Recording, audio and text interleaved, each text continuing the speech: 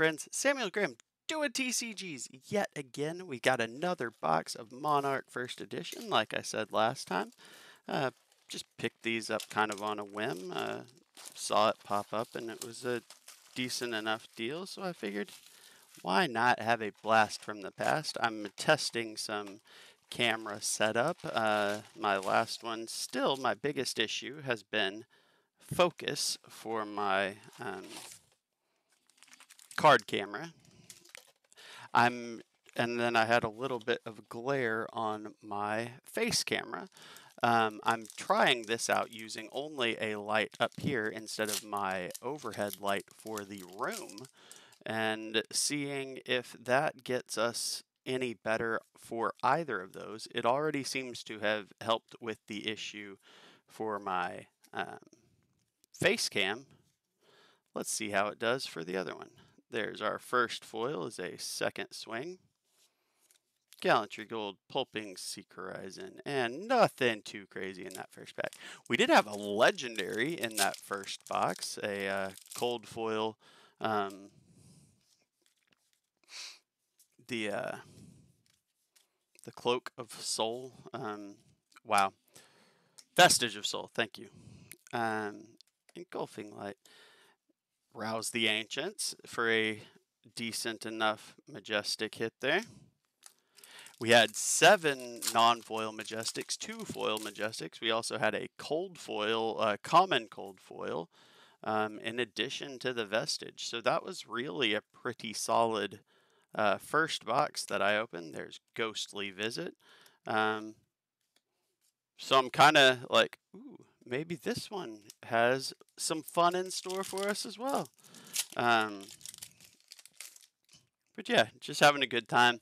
Hadn't opened any of this for in a while. Saw a good value and uh, saw a good price and decided to just take a whack at it. First, rare foil, Duskpath Pilgrimage. I know this set is has a pretty bad rap because of its big print run that was announced. Um, but I still think, you know, there was a lot of cool stuff. I've talked a lot about how I love um, like angel artwork cards, and this gave us lots of that for sure. So it has a place in my heart there. Um, both, I'm not as big on the uh, like the the shadow stuff that gives sort of some. Uh, I don't always love the more gruesome art. I guess that's where I'm going with it. Uh, that we get a lot of in this set. But, ooh, Nourishing Emptiness. A good Majestic right there. Um, so, like, about half of like that Howl from Beyond is a great example. Um, Bolt of Courage is one of the ones I do like. Cross the Line I always thought looked cool. Alright, so there is a cold foil for us. Coming this early, I kind of feel like maybe that is our spice for this box, but that is alright if so. I definitely put those in a different stack than I meant to. I'm just causing all kinds of trouble already, aren't I? But it does seem like, at least at this point, knock on wood, that, and this right here, this is my favorite piece of art. I absolutely love this card, especially in foil, but that, and then this one right behind it's pretty cool too. The Herald of Ravages. I love both of those cards. That's the kind of thing that really gives this set a uh, special place in my heart. Writhing Beast Hulking out muscle. So we do already have a cold foil. We got cold foil hooves of the Shadow Beast, which is one of the common pieces of equipment. Let's see if we can get lucky and find another one. Bolt of Courage. There's the non-foil hooves and a couple of rares. But yeah, what does everybody else think about this set in hindsight? You can talk about include the uh, trouble with the the print run, you can talk about well, whatever you care to talk about about it. The art, the cards themselves in it. It's the only set, and there is a bolting blade. I had a foil and a non-foil of that in the last box. Um, it is intriguing that this is the one. There's my herald again. Um, that we now have uh, two living legends in classic constructed from this set now with uh, Chane and prism. That is kind of peculiar. I don't, you know, no set, no other set has can say the same. Um, so that is a pretty neat thing. Obviously, there are cards, there are heroes, strategies in it that are excellent and viable. Sonata Arcanix. That's always been a cool piece of art too. I like that card a lot. So I don't love right now the lighting that I have, but it does seem to be holding the camera stuff better. Uh, it's not necessarily popping the art like I would like though. So that is an interesting thing to consider.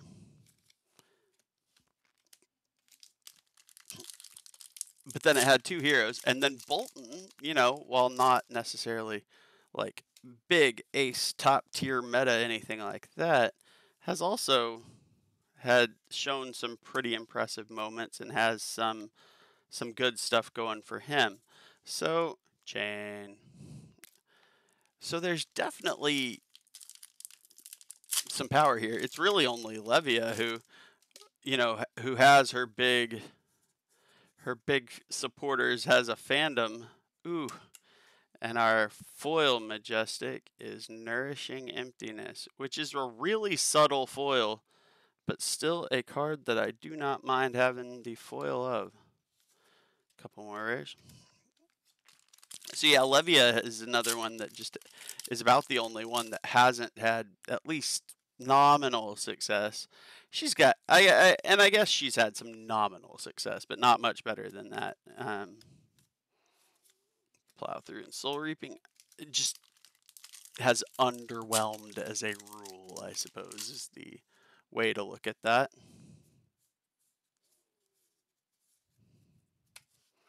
Boneyard Marauder. So we've got a cold foil, a rainbow foil majestic, and only three Majestics. So the last couple packs here could be interesting. And that could be good interesting or horrific interesting. Two out muscles. Because we've got six packs left. And I would hope to see at least three more Majestics in those six packs. What are we going to find? Smash with Big Tree. Battlefield Blitz and Genesis. All right. This one makes me a little bit sad now. Thinking about uh, George having the spoiler for that. That makes me happy to see it. Think about it as the uh, th- there was always the joke of the oh you got to foil George. Um, but uh, it's it, it's it's bittersweet now. Always cool to see Majestic, but that one and there are definitely a couple of them. The Smash with Big Tree. I was thinking about Louis' uh, Smash Smash Smash too. Um, so it's always interesting, though. You know, look back, see what has changed.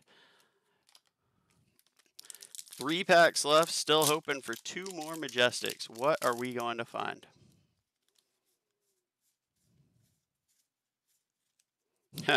Smash with big tree again. Alright, alright, alright. There's another Majestic. That is Hexagore the Death Hydra. Not a foil version. That would be something nice to see too, is uh, one of the, the surprise cold foils or an extended art uh, foil. I'm kind of not expecting it at this point. There's Tremor. couple of rares, and Sir Boltyn, speaking of him from earlier, and a last pack. Let's see what we have. Let's hope for one more Majestic.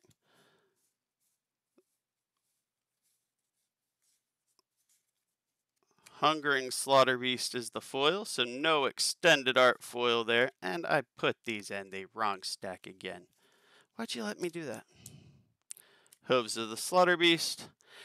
And no additional Majestic. So we picked up two boxes of this. One of them ended up pretty good. The other one mediocre at best. Oh, I had one more for.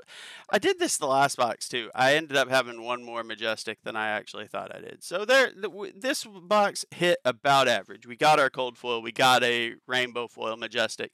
We got six majestics. Not as good as that last box, but also not dreadful. We can live with that. Um, but yeah, it was nice revisiting this set. I might see if I can come across a little bit more because it's just fun to go back through it and I really enjoyed it. But thank you very much for spending some time reminiscing with me, also working with me a little bit through this new camera setup um, while I'm wearing my Fun Fun Bucky t-shirt. Um, and uh, this one went a little bit more smoothly than the last one, so I appreciate uh, your patience. You're continuing to spend some time with me. Uh, like and subscribe if you like what you see. If not, just thank you for being here. I really do appreciate it, and I try not to take it for granted. I hope you all have a fantastic rest of the day. Be good out there. Bye, y'all.